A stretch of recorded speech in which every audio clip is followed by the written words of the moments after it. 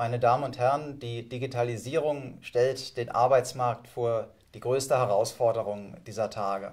Und in der Tat, angesichts von Phänomenen wie selbstfahrenden Autos, vollautomatisierter Logistik, menschenleeren Fabriken oder künstlicher Intelligenz, kann man durchaus auf die Idee kommen zu fragen, ob es denn in Zukunft überhaupt noch Arbeit für den Menschen gibt.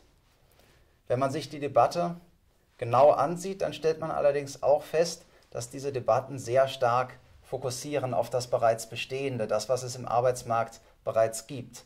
Und dann landet man unweigerlich bei der Überlegung, was alles wegfallen kann, aber fokussiert weniger das, was vielleicht hinzukommen könnte.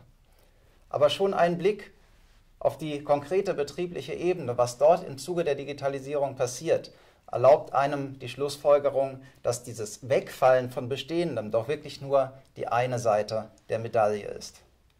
Hier auf dieser Folie sehen Sie das Ergebnis einer Betriebsumfrage zur Digitalisierung, die wir zusammen mit dem ZEW durchgeführt haben. Da sieht man, die Betriebe sind durchaus der Ansicht, dass im Zuge der Digitalisierung die Arbeitsproduktivität steigen wird. Also bei höherer Produktivität und gleichem Output bräuchte man dann entsprechend weniger Arbeitsinput. Das ist also genau das Ersetzen von Arbeit. Man sieht allerdings auch vieles weitere. Das heißt, es geht beispielsweise darum, dass neue Dienstleistungen angeboten werden, neue Produkte entstehen. Es geht um Datenschutz, es geht um Weiterbildung, also um viele Phänomene, die an sich am Ende auch gemacht werden müssen, also die Arbeit schaffen. Von daher ist es essentiell, in Studien zum digitalen Wandel auch wirklich die Kanäle, über die Digitalisierung wirkt, umfassend abzubilden. Und genau so eine Studie haben wir durchgeführt, die die Kanäle, über die Digitalisierung auf den Arbeitsmarkt wirkt, wirklich umfassend darstellt. Das heißt, es geht da einerseits um das Ersetzen, aber es geht ganz genauso um die Investitionen, die für die Digitalisierung nötig sind. Es geht um neue Produkte, neue Dienstleistungen. Es geht darum, dass im Zuge von höherer Produktivität Preise sinken können, wodurch Märkte ja auch größer werden. Und es geht darum, dass im Zuge von technologischem Wandel ja auch Einkommen entsteht, das an ganz anderer Stelle wieder eingesetzt wird. Wenn wir alle diese Kanäle gleichzeitig berücksichtigen, dann kommen wir auf ein ausgewogenes Bild. Sie sehen in dieser Grafik einen Vergleich eines Wirtschaft 4.0 Szenarios zu einem Basisszenario, also das Basisszenario, in dem technologischer Fortschritt nur in üblich, bisher üblichem Umfang passiert. Was Sie hier sehen, ist, was im Wirtschaft 4.0-Szenario über dieses Basisszenario hinaus passiert. Und da kann man erkennen, es gibt sehr wohl einen erheblichen Jobaufbau äh, und auch einen erheblichen Jobabbau. Wir kommen hier auf ein Minus von 1,5 Millionen Jobs, aber eben auch auf ein Plus von 1,5 Millionen an anderer Stelle. Unterm Strich bedeutet das, dass der Beschäftigungsstand nicht sinken wird. Wenn wir uns anschauen, wo die einzelnen Gewinne und Verluste auftreten, dann kommt man auf das im Grunde zu erwartende Ergebnis oben bei den Hochqualifizierten, bei den Experten im Arbeitsmarkt. Da wird es Zuwächse geben. Und unten im Arbeitsmarkt bei den Menschen ohne Abschluss, da wird die Digitalisierung zu weiteren Rückgängen führen. Aber die stärksten Rückgänge sehen wir hier im mittleren Segment, also auf dem Fachkraftniveau.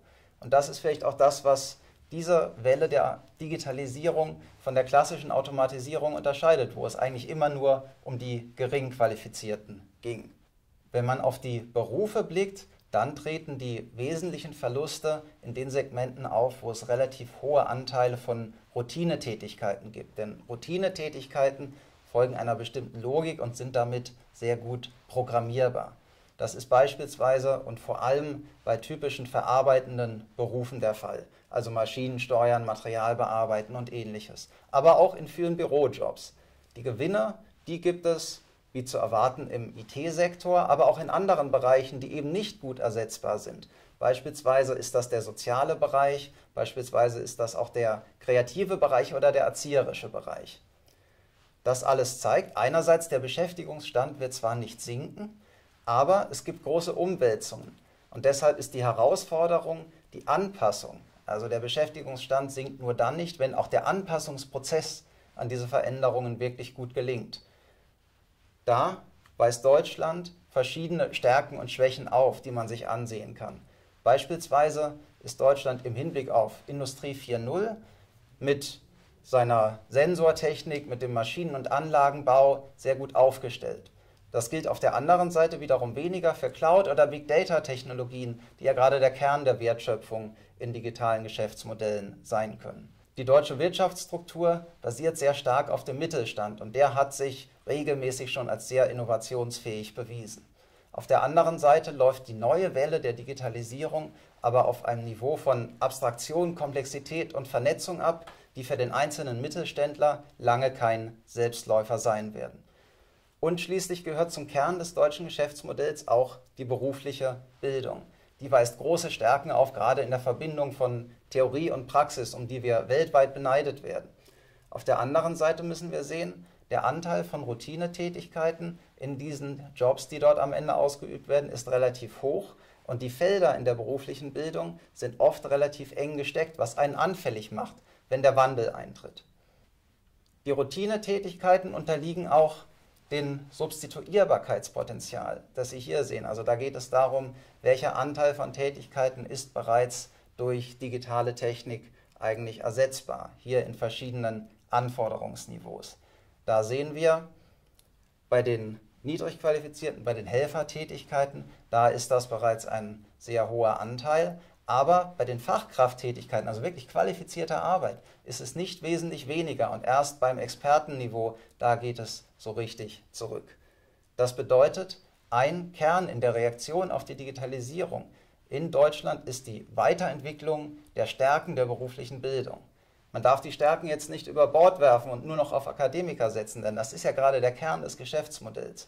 Aber es wird wesentlich mehr natürlich um IT-Kenntnisse gehen, aber noch wesentlich mehr um übergreifende Fähigkeiten.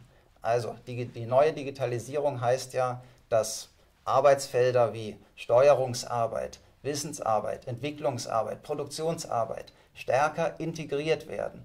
Und dementsprechend kommt es auch stärker auf Fähigkeiten an zu kommunizieren, auf soziale Fähigkeiten oder auf Fähigkeiten in Prozessen abstrakt zu denken. Das heißt, in diese Richtung ist eine Weiterentwicklung geboten. Genauso gibt es auch Konsequenzen für die Hochschulbildung. Hier ist ja lange die Praxisnähe immer weiter gepredigt worden und nicht unbedingt alles davon muss falsch sein. Aber im Sinne von übergreifenden Kompetenzen muss man sich gerade an der Universität auch wieder trauen, Akademiker zu sein. Und Akademiker nicht im Sinne von Wirklichkeitsferne, sondern gerade im Sinne dieser übergreifenden Kompetenzen, die ja gerade im Hochschulstudium im Zentrum stehen. Und es gibt auch Konsequenzen für die Arbeitsmarktpolitik. Denn wenn sich die Anforderungen schneller ändern, dann werden auch die Anforderungen an die Arbeitsmarktpolitik größer. Wirklich den Menschen, die ihren Job verlieren, effektiv zu helfen, versiert zu erkennen, welche Weiterentwicklungspotenziale und welche Weiterentwicklungsnotwendigkeiten bestehen und diese dann auch umzusetzen und intensiv zu begleiten.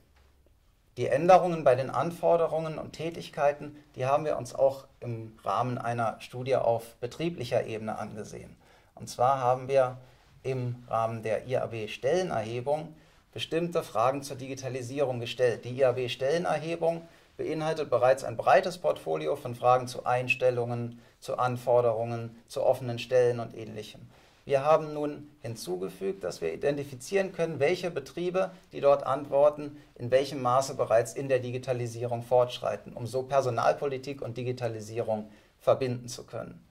Der Vorteil, sich auf Einstellungen zu fokussieren, ist dabei, dass hier Betriebe besonders frei ihre Anforderungen bereits formulieren können und man deswegen Trends wirklich am frühesten erkennen kann. Und hier sehen wir im Vergleich von digitalisierenden zu nicht digitalisierenden Betrieben, dass Digitalisierung im Betrieb dazu führt, dass deutlich höhere Anforderungen an soziale und kommunikative Kompetenzen gestellt werden. Und genauso geht es um zusätzliche Kenntnisse aus Kursen, also sprich Weiterbildung. Und genau diese Weiterbildung kann man sich auch im historischen Kontext herleiten. Was Sie hier sehen, sind, ist der Verlauf der Arbeitslosenquoten in Deutschland und zwar nach Qualifikation getrennt. Dort kann man erkennen, dass nach der Wirtschaftswunderzeit in den 60ern die Arbeitslosenquoten sich immer weiter aufgebaut haben und das vor allem im Bereich der Menschen ohne beruflichen Abschluss. Das war einmal die größte Gruppe im deutschen Arbeitsmarkt, aber viele, viele von diesen Arbeitsplätzen sind im Zuge des technologisch-strukturellen Wandels weggefallen. Das heißt, hier kann man erkennen, wenn man im Zuge eines solchen Wandels darauf erst wartet, dass die Menschen in der Arbeitslosigkeit aufschlagen, dann wird man der Entwicklung irgendwann nicht mehr Herr. Das bedeutet, wir brauchen zusätzlich zu der Arbeitsmarktpolitik, die sich eben um Arbeitslose kümmert, und zusätzlich zu der Bildungspolitik, die sich um die Erstausbildung kümmert, auch einer Weiterbildungspolitik für Beschäftigte, um Beschäftigte laufend auf dem aktuellen Stand zu halten, um Beschäftigte in Sachen Weiterbildung zu beraten, in Sachen Weiterbildung zu fördern und um in diesem Zuge auch den großen Vorteil auszunutzen, den man hat, solange Menschen noch im Job sind. Nämlich hier kann man mit den Betrieben zusammenarbeiten, die ja über die wesentlichen Informationen verfügen, was aus Produktionssicht, was aus Marktsicht für Kompetenzen benötigt werden. Dabei darf man sich aber nicht auf allzu arbeitsplatz- und betriebsspezifische Dinge konzentrieren, denn das liegt ja wirklich in der Verantwortung der Betriebe und diese Weiterbildung führen sie selbst durch, sondern auch hier geht es aus weiterbildungspolitischer Seite und Sicht wieder um übergreifendere Dinge. Am Ende muss man sich aber auch eingestehen, dass im Zuge eines solchen Wandels nicht jeder unbegrenzt und beliebig qualifizierbar ist. Das heißt, man muss auch darüber nachdenken, welche Beschäftigungsmöglichkeiten es noch in dem Bereich ohne formale Qualifizierung geben wird. Wenn wir dabei auf den Dienstleistungsbereich schauen, dann stellen wir fest, dass insgesamt die Qualifikationsanforderungen schon steigen. Aber auch hier gibt es eine weitere Entwicklung gerade von personenorientierten Dienstleistungen, die nach wie vor größeres Potenzial darstellen könnten. Im Produktionsbereich gibt es beide Entwicklungen, eine Höherqualifizierung aber eben auch einer Entwicklung von geringeren Anforderungen. Dazu kann es beispielsweise kommen, wenn ja auch im mittleren Segment, wie wir gesehen haben, es zu Änderungen kommt, Jobs umstrukturiert werden, dann bleiben gegebenenfalls Tätigkeiten, die bisher von einem Facharbeiter ausgeführt wurden, aber nicht unbedingt eine Qualifizierung erfordern, auf der Strecke und werden anderweitig in anderen Jobs wieder zusammengefasst. Das heißt, hier könnte zusätzliches Beschäftigungspotenzial entstehen. Und schließlich ist die Debatte, ob Assistenzsysteme, etwa Datenbrillen und ähnliche Technologien, dazu führen können, dass Jobs, die bisher eine Ausbildung erfordert haben, vielleicht auch von Menschen gemacht werden können, die über eine solche nicht verfügen. Dort gibt es zwar einige ermutigende Ergebnisse, man muss aber auf der anderen Seite auch sehen, dass ein flächendeckender Einsatz, um in großen Stil Probleme zu lösen, wahrscheinlich in dieser Hinsicht nicht nötig ist. Denn auch hier muss ja, müssen die Möglichkeiten und Grenzen von menschlicher Informationsverarbeitung einbezogen werden. Auch hier müssen die Technologien aufgabenorientiert eingesetzt werden und am Ende wird es auch darauf ankommen, Transparenz und Eingriffsfähigkeit bei solchen Technologien sicherzustellen. Parallel zur Digitalisierung läuft schließlich ein weiterer Megatrend ab, gerade in Deutschland, nämlich der demografische Wandel. Was Sie hier sehen, ist die Entwicklung des Erwerbspersonenpotenzials, also des gesamten Angebots an Arbeitskräften über die nächsten Jahrzehnte. Selbst wenn man hier Projektionsunsicherheit, wie in dieser IAB-Projektion dargestellt, mit einbezieht, sieht man, über das nächste Jahrzehnt wird die Zahl von Arbeitskräften in Deutschland um einige Millionen sinken. Damit sind, so bedrohlich das klingt, auf der anderen Seite auch wieder Hoffnungen verbunden. Denn wenn man argumentiert, dass die Digitalisierung Millionen von Jobs verschwinden lässt, dann würde hier ein gewisser Ausgleich stattfinden. Also wenn dann die Zahl von Arbeitskräften ebenfalls sinkt, würde es ja nicht zur Massenarbeitslosigkeit kommen. Und umgekehrt kann man sagen, wenn hier die Zahl von Arbeitskräften sinkt, wodurch ja es zu erheblichem Fachkräftemangel kommen könnte, so die Befürchtungen, dann könnte man dieses Phänomen abmildern dadurch, dass man Arbeit einspart im Zuge der Digitalisierung. Unsere Ergebnisse deuten nicht darauf hin, dass es zu so einem Ausgleich wirklich kommen kann. Denn die Ergebnisse zeigen, dass der Beschäftigungsstand und der Beschäftigungsbedarf durch die Digitalisierung gar nicht sinken wird. Ganz im Gegenteil. In der Studie auf betrieblicher Ebene stellen wir fest, dass diejenigen Betriebe, die digitalisieren, viel häufiger von einem Mangel an Fachkräften, also von einem Abbruch von Suchvorgängen am Arbeitsmarkt, von Schwierigkeiten bei der Personalsuche betroffen sind. Das heißt, Digitalisierung kann sogar zu Engpässen auf dem Arbeitsmarkt führen.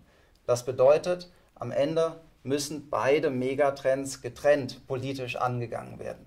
Die Digitalisierung ganz wesentlich durch eine Qualifizierungsstrategie und der demografische Wandel beispielsweise durch eine nach wie vor offene Zuwanderungspolitik. In bestimmter Hinsicht kann es aber doch zu einem Ausgleich kommen, und zwar wenn wir auf die Qualifikationsstufen blicken.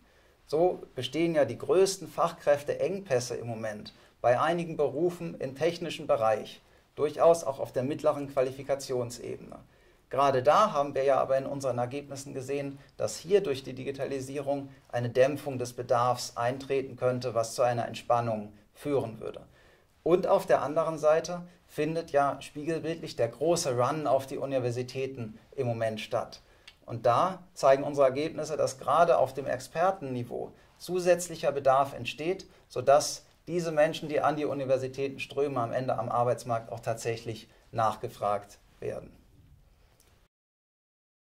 Meine Damen und Herren, die Digitalisierung wird sich umfassend auf den Arbeitsmarkt auswirken.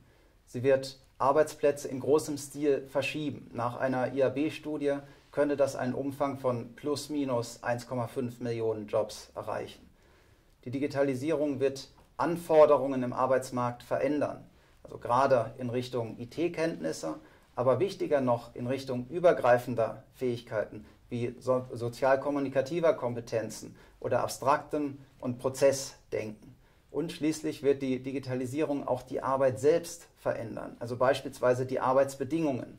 So stellen wir in einer IAB-Studie auf betrieblicher Ebene fest, dass digitalisierende Betriebe an ihre neuen Mitarbeiter deutlich höhere Anforderungen in Sachen zeitlicher und inhaltlicher Flexibilität stellen, als das bei nicht digitalisierenden Betrieben der Fall ist. Gleichzeitig sehen wir aber auch, dass auf Seiten der Arbeitnehmer der Flexibilitätsbedarf steigt. Das heißt, hier wird es darauf ankommen, neue Wege zu gehen, um zu einem vernünftigen Ausgleich zwischen den Bedarfen zu kommen. Insgesamt sehen wir, durch die Digitalisierung wird uns die Arbeit nicht ausgehen. Dennoch stellt die Digitalisierung große Herausforderungen an Arbeitsmarkt und Politik. Denn gerade wenn sich Anforderungen ändern, dann wird die Arbeitsmarktpolitik noch wesentlich stärker erkennen müssen, welche Umorientierung, welche Neuorientierung notwendig sind und diese dann auch intensiv umsetzen. Dazu gehört auch eine Weiterbildungspolitik aufzusetzen, also eine Weiterbildungspolitik für Beschäftigte, die diese Menschen während ihrer Beschäftigung intensiv in Sachen Weiterbildung berät und die Weiterbildung dann auch fördert. Und schließlich geht es auch um die Zukunft der Sozialversicherung bei Arbeitsmarktbedingungen, die zumindest in einigen Bereichen noch mehr in die Richtung gehen, dass die klare Grenze zwischen Arbeitssuchenden und Beschäftigten mehr und mehr verschwimmt. Das heißt, man sieht, am Ende steht unsere soziale Marktwirtschaft im Fokus und die Frage, welche Impulse wir setzen wollen, damit die Digitalisierung auch für unsere wohlfahrtsstaatliche Arbeitsgesellschaft zu einem Erfolg wird.